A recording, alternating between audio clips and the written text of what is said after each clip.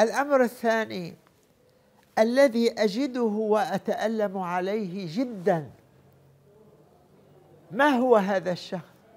ما هو هذا الشيء؟ نكون في جنازة. حفظكم الله ورعاكم. تمر الجنازة وتجد الخلق وراءها. الرجل يقول للرجل متى نسهر؟ وأين سنسهر؟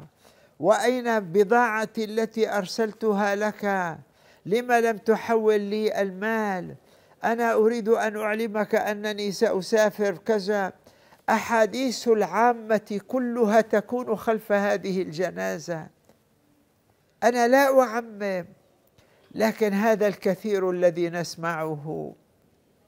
أين قراءتك للقرآن واستغفارك لمن مات؟